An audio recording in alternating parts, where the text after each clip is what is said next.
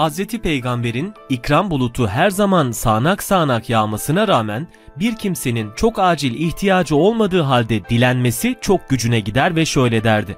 Bir kimsenin sırtına odun yükleyip getirerek pazarda satıp şeref ve haysiyetini koruması insanlardan dilenmesinden çok daha iyidir. Dilencilik zorda kalmadıkça yapılmaması gerekiyor. Birine muhtaç olmak yerine Allah'ın verdiği imkanları kullanarak geçimini sağlayabiliyor insanoğlu. Dinimiz çalışmayı emir ve tavsiye ettiği gibi bunu üstün bir fazilet olarak görmüş, tembelliği ve buna bağlı olarak dilenciliği de o ölçüde yasaklamış ve kötülemiştir.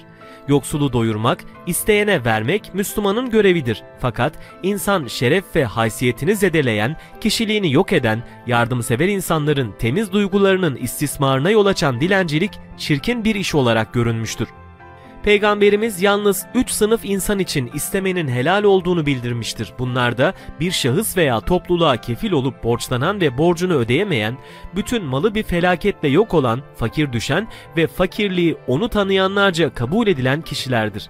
Bunların dışında kalan ve bir günlük yiyeceği bulunup çalışıp kazanabilecek güce sahip birisinin dilenmesi ise caiz görülmemiştir. Sık sık evinin kapısını çalıp bir şeyler dilenen adamdan bakıp oldukça rahatsız olan evin hanımı bir gün yine aynı dilenci kapısını çaldığında ondan kurtulmaya karar verir. Hemen vakit geçmeden mutfaktan bir ekmek alır ve ortasından yararak arasına peynir zeytin yerleştirir.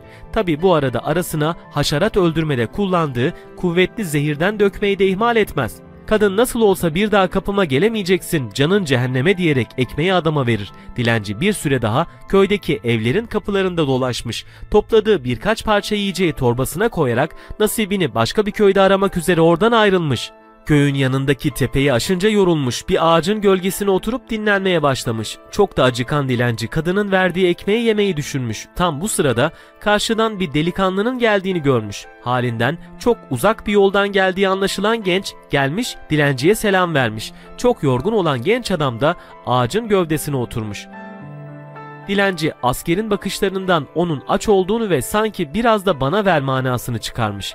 Gencin haline acıyan dilenci ona kimsin sen diye sormuş. Adamsa ben bir askerim askerliğim bitti artık köyüme dönüyorum fakat çok acıktım. Açlıktan yolda yürüyecek halim kalmadı. Torbanda karnımı doyuracak bir parça yiyecek varsa versen demiş. Dilenci delikanlıya çok acımış. Torbasından çıkardığı ekmeğin hepsini askere buyur etmiş. Asker genç dilenciye teşekkür ederek oradan uzaklaşmış.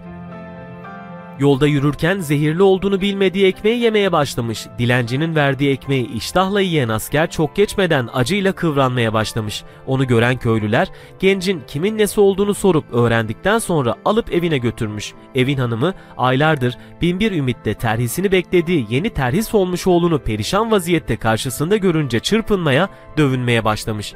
Biraz zaman geçip de sakinleşen kadın oğluna ne olduğunu, niçin kıvrandığını sorup öğrenmeye çalışmış. Delikanlı biraz önce dağın tepesinde dilenci bir adamın kendisine ekmek verdiğini, onu yedikten sonra bu hale geldiğini söyleyince kadın ona verdiği ekmeği hatırlamış ve başından aşağı kaynar sular dökülmüş. Yaptığına çok pişman olan kadın ben ne yaptım diye dövünmeye başlamış ama iş işten geçmiş.